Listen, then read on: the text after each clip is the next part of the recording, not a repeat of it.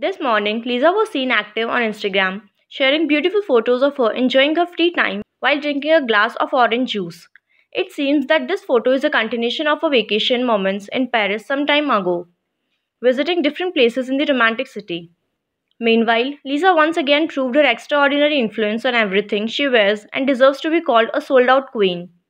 Some of the items Lisa wore in her latest post are now sold out on the product's official website like the black crop top the famous actor had by Ho Coco and the $120 clear glitter sandals by Melissa's brand have also been sold out by fans, proving once again that anything related to Lisa, no matter the price, always attracts buyers.